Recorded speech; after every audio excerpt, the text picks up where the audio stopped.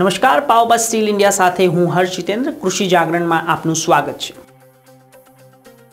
મધ્યપ્રદેશમાં મગની ખરીદી પર તારીખ પાંચ ઓગસ્ટ સુધી લંબાવવામાં આવી. ખેડૂતો ટ્રેક્ટર સબસિડીનો સંપૂર્ણપણે લાભ લઈ શકે છે. ધનખરે રાજ્યસભામાં આ વિશે સૂચના આપી. બંગાળમાં ઓછા વરસાદને કારણે મેરીગોલ્ડની ખેતીને નુકસાન થયું. બજારમાં પુરવઠો ઘટ્યો.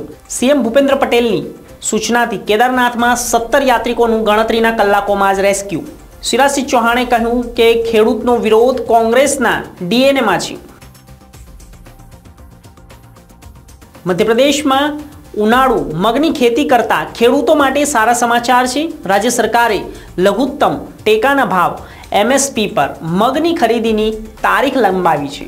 ખરીદીની પ્રક્રિયા ચોવીસ જૂન બે હજાર ચોવીસથી શરૂ થઈ છે, જે એકત્રીસ જુલાઈ સુધી ચાલવાની હતી. પરંતુ તેને વધારીને પાંચ ઓગસ્ટ કરવામાં આવી છે.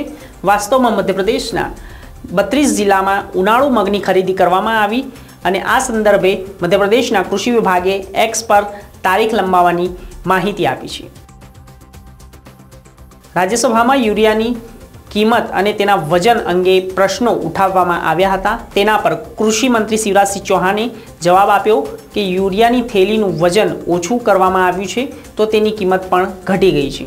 તો આ દરમિયાન રાજ્યસભાના અધ્યક્ષ જગદીપ ધનખરે ટ્રેક્ટરને લઈને કેટલાક મહત્વપૂર્ણ સૂચનાઓ આપી અને તેમણે કહ્યું કે કૃષિમાં ટેકનોલોજીનું ઘણું મોટું યોગદાન છે. તેમણે કહ્યું કે ટેકનિકલ રીતે જેટલા સારા કૃષિ સાધનો હશે, તેટલી ખેડૂતો ખેતી સારી અસર કરશે.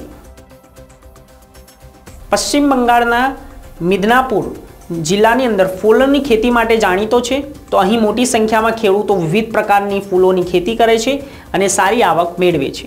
તો રાજ્યના પૂર્વ અને પશ્ચિમ મિદનાપુર બંને જિલ્લાઓમાં ખેડૂતો ફૂલોની ખેતી કરે છે. અહીં ખેડૂતોનો વિવિધ પ્રકારના ફૂલોની ખેતી કરે છે. પરંતુ મેરીગોલ્ડ ફૂલો સૌથી વધુ ઉપયોગ પૂજામાં થાય છે. માટે આ વખતે મેરીગોલ્ડ ફૂલોની ખેતી કરવાથી ખેડૂતો નિરાશ થઈ ગયા છે અને ખરાબ હવામાનના કારણે તેમનો આ ખેતી પર પ્રભાવિત થઈ છે. તેનો ઉત્પાદનમાં મોટો ઘટાડો જોવા મળી રહ્યો છે. કેદારનાથમાં ભારે વરસાદને પગલે થયેલ લેન્ડસ્લાઇડના અનેક યાત્રિકો ફસાઈ ગયા હતા. જેમાં ગુજરાતના પણ અનેક યાત્રિકો હોવાની માહિતી મળતા મુખ્યમંત્રી દ્વારા તત્કાલિક ધોરણે તેને ઇમરજન્સી સ્ટેટ ઓપરેશન સેન્ટર મારફતે ઉત્તરાખંડ એસઈઓએસનો સંપર્ક કરીને તત્કાલિક બચાવની કામગીરી ધરવામાં હાથ ધરવામાં આવી હતી અને સત્તર ગુજરાતીઓને યાત્રિકોને ગણતરીના કલાકોમાં જ રેસ્ક્યુ કરવામાં આવ્યું હતું. કેન્દ્રીય કૃષિ મંત્રી શિવરાજસિંહ ચૌહાણે કહ્યું છે કે કોંગ્રેસના ડીએનએમાં ખેડૂત વિરોધી વાત રહેલી છે. તો આ વાત કોઈ સાદી નથી, પરંતુ કોંગ્રેસની પ્રાથમિકતાઓ શરૂઆતથી જ ખોટી રહી છે. તેમણે વધારે કહ્યું કે પ્રથમ વડાપ્રધાન જવાહરલાલ નહેરુનું હું સન્માન કરું છું, પરંતુ તેમણે ખેતીને લગતી ભારતીય પરંપરાનું પાલન નથી કર્યું. તેઓ રશિયા ગયા અને ત્યાંથી એક મોડલ જોઈને આવ્યા અને રશિયાનું મોડલ તેમને ભારતમાં લાગુ કરવાનું વિચાર કર્યો.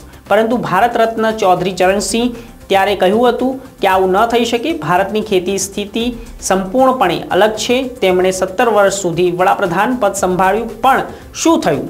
ભારતના લોકો અમેરિકાથી સડેલા લાલ ઘઉં પીએલ ચારસો એંસી ખાવાની એ વખતે ફરજ પડી હતી. સમાચારમાં બસ આટલું જ. દેશ, દુનિયા અને એગ્રીકલ્ચર ન્યૂઝ માટે જોતા રહો કૃષિ જાગરણ. નમસ્કાર.